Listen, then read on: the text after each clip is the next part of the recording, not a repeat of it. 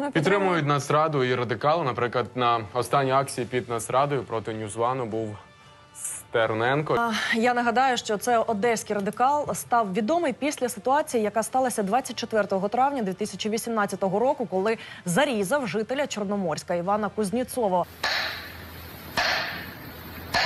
Ну і також Стерненко підозрюється в декількох епізодах продажу наркотиків через інтернет. Окрім підозр в торгівлі наркотиками, в поліції лежать ще мінімум дві заяви від людей, які постраждали від рук праворадикала.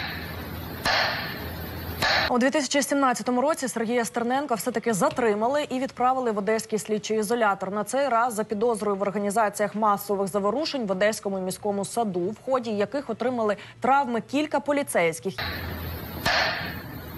Давайте ще раз нагадаємо нашим телеглядачам, що ця людина вона знаходиться на свободі і продовжує ось такі е, вести е, мітинги і е, провокації робити далі.